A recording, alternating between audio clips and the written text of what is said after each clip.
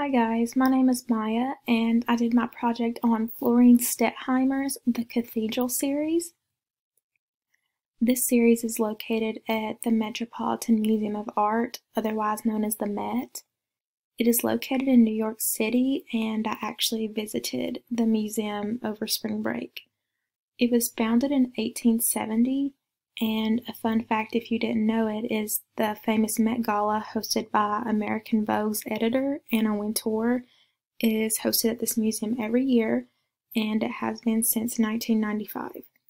The gala is a fundraiser dedicated to New York City's Metropolitan Museum of Art Costume Institute.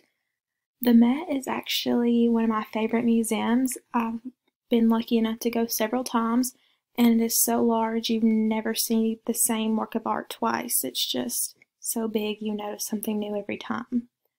Um, the Met is home to many famous artists that we studied this semester, such as Georgia O'Keeffe, Van Gogh, and Claude Monet. Um, the Met does not just display paintings, they also have sculptures, carvings, costume exhibits, and large structures such as an Egyptian temple. Um, I've included some photos. The top right is Anna Wintour, American Vogue's editor, at the Met Gala. Um, the bottom left is the museum itself, that's the front of it.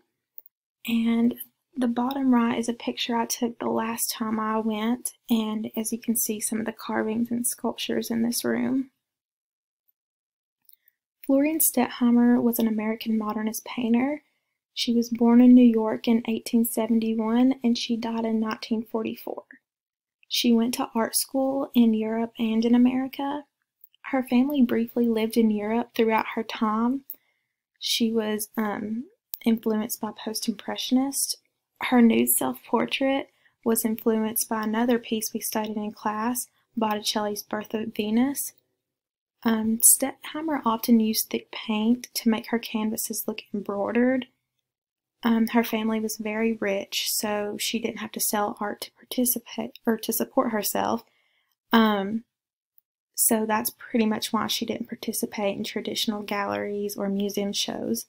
Instead, she preferred to display her work on her own terms at invitation only events she liked to call her birthday parties.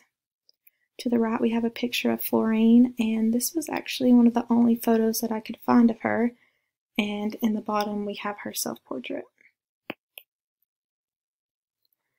Stettheimer's most famous works parody the society that she lived in, and that was upper class New York City.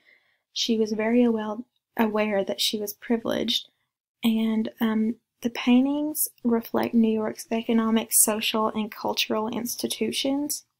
From left to right, the paintings display Broadway, Fifth Avenue, Wall Street, and New York's three major art museums. The medium is oil and canvas, and they are found in the Modern and Contemporary Art Department. The first piece we have is Stettheimer's collection, The Cathedrals of Broadway, and it was painted in 1929. According to the description at the Met, the Cathedrals of Broadway captures the magical atmosphere of neon lit theaters, which offered films as well as live performances. Um, so in the bottom, I'll have the picture that I took while I was at the museum, and to the right, I'll have an up close so it makes it easier to look at and analyze. In the middle of the canvas, we can see the mayor at the time of New York, Jimmy Walker, throwing out the first pitch of baseball season. And all around the arch are famous theaters she has painted. Mm, this photo has a lot of primary and secondary colors. She's kind of done a mix of both. The second piece is the Cathedrals of Fifth Avenue. This was painted in 1931.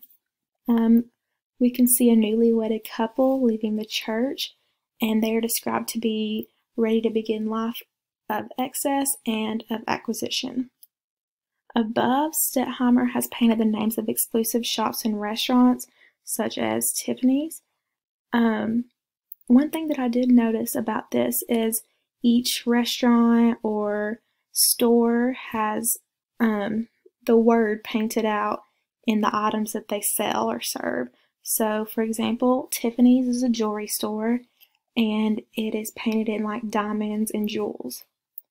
To the right of the painting, we can see Stettheimer and her three sisters exiting a limo. She often likes to include herself or feature herself in her paintings. The third piece is The Cathedrals of Wall Street, and it was painted in 1939. This work unites various public figures with major financial establishments of the day. Etched at the top of the monument in the middle, we see three financial leaders, Bernard Baruch, John D. Rockefeller, and J.P. Morgan. In this painting, Stettheimer also paints a group of Salvation Army workers, and she's in this photo as well. She's in the bottom holding a bouquet of flowers. Um, this is actually my least favorite of the bunch. What drew me to these paintings were, you know, the vibrant colors, but this really just includes four main colors. And I think the reason that they have these red, whites, and blues and they have gold is because it has to do with politics and, you know, those are the colors of our country. The fourth and last piece is The Cathedrals of Art, and it was painted in 1942. This piece represents the major museums of New York City, and they are being watched over by their directors. In the top left, we see the Museum of Modern Art. In the center, we see the words Metropolitan, and that represents the Met. And in the top right, we see the Whitney Museum of American Art being represented by the eagle. Stettheimer's in this photo, and she is among a group of art critics, dealers, and photographers. This is my personal favorite out of the group because of all of the different pinks and reds. She's included a lot of color in this photo, and like I said, that's what drew me to her painting, so this is my personal favorite. So I figured we could wrap up by testing our knowledge with a few questions. The first one says, where is the Metropolitan Museum of Art located? California, Georgia, New York, or Washington? Second is true or false. Stettheimer relied on her art to support her. Third is what department can the works of art be found in at the Met? Medieval art, Greek and Roman art, the American wing, or in modern and contemporary art. Fourth, in the Cathedrals of Wall Street, who is not painted at the top of the monument? Bernard Baruch, J.P. Morgan, George Washington, or John D. Rockefeller? And finally, when was the Cathedrals of Broadway painted? 1949, 1929, 1939, or 1871? So the first answer is C, New York. Second is false. Third is D, modern and contemporary art. Fourth is George Washington, and George Washington's actually in the photo. There is a statue of him, but he is not one of the three listed at the top of the monument. And fifth is B, 1929. So thank you guys for watching my presentation, and I hope you enjoyed it.